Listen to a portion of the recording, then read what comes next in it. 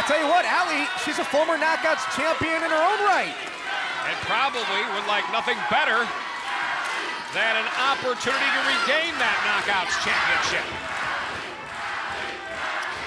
And and and I've been working really, really, really hard, and and and I think I deserve a title shot too.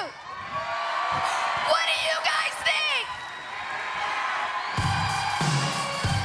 Three contenders in the ring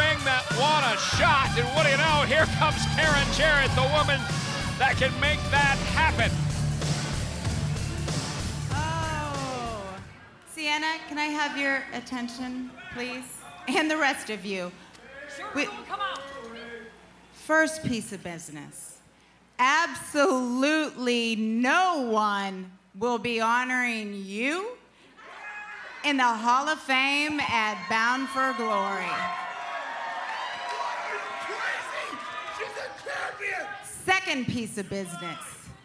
You will be defending that Knockouts title at Bound for Glory against Gail Kim. And Taryn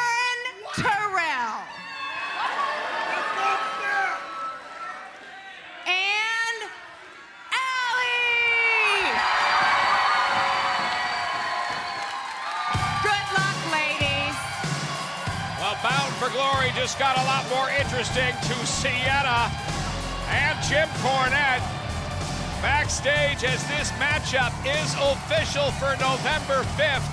Gail Kim, Taryn Terrell, and Allie will challenge Sienna for the Knockouts Championship. Talk about putting the champion at odds here against all odds. If Sienna can retain and defeat three knockouts at Bound for Glory, maybe she does deserve to go into the Hall of Fame.